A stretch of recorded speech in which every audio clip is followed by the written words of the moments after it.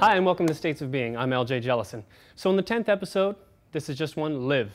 That's what we're going to do, live. But before we do that, I just want to recap the first nine episodes.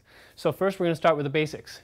When you get a piece that you want to work with, listen to the words and find out what the song is saying. Then, sit and just let it move you.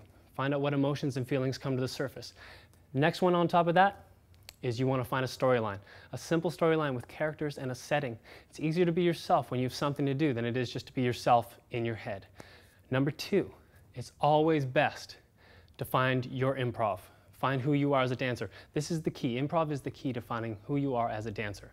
Number three, when you are improving, no critique. Don't critique yourself and don't let others critique you. This is your time, your voice. You are pushing the limits, you're establishing new emotions and new emotional notes for your repertoire. So let it all just sit as it is. Keep it nice and raw. Number four, do not hold yourself hostage. If you do not like something you do, move on, accept it. We fall, it's part of life. We make mistakes, it's part of life. Just accept who you are. Number five, you are your own biggest enemy. So get out of your way. Don't let vanity stand in your way. It's not about what you look like. It's about what you have to say as an artist and as a dancer.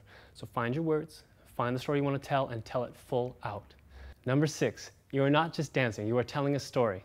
And it's always important to tell a story. People love stories. The audience loves stories. It gives them something to attach to. It also gives you direction and a roadmap to go through. Number seven, do not be afraid of showing people who you are. It's the only thing you have is who you are. That's the only thing you own as a dancer. So strengthen it, flourish, and be who you are without any apologies. Number eight, live life without any apologies. This is the most important thing you can do as a dancer. Treat everything as a learning lesson. You find somebody who's better than you or you think is better than you, learn from them. You fall down, you learn from it. You make a mistake, you learn from it. The biggest thing that I can leave with you is treat everything like a learning experience. If you do so, you will accept everything into your life.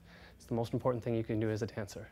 Aaron and I want to thank you for joining us in States of Being. We hope that we have shared something with you that will allow you to find your voice, maybe help you find your voice as a dancer. It's the most important thing you have.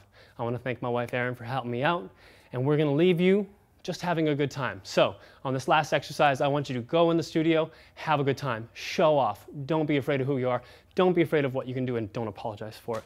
Thank you. States of Being, I'm LJ Jellison.